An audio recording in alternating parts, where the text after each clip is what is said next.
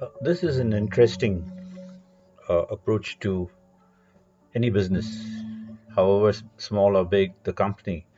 Uh, there are few people who matter, the persons who matter in an organization. So let's look at uh, most organizations today have flattened out. You don't have the 12 levels earlier. I would you'd see that in a lot of my communications that most organizations have about seven levels uh, as a hierarchy. So you would have the stakeholders and the top management up at seven broadly.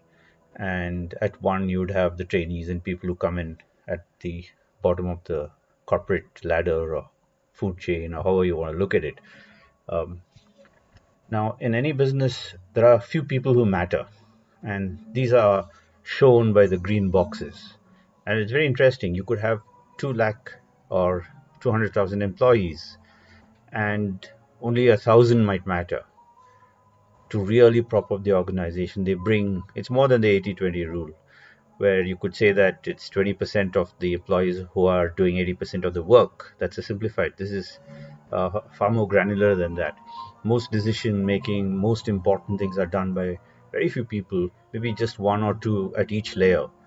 But the whole edifice, the whole enterprise is based on these few few green boxes, people who matter. So we recognize this uh, when we have built our cloud platform, Clextra, where we empower the few green people to do their job more effectively.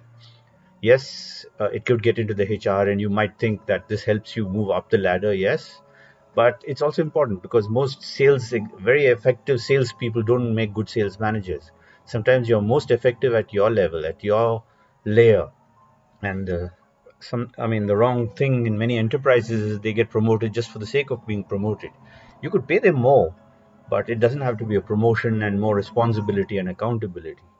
So people should uh, you know be at the right layer and the green boxes are extremely important for the whole building uh, of the enterprise to work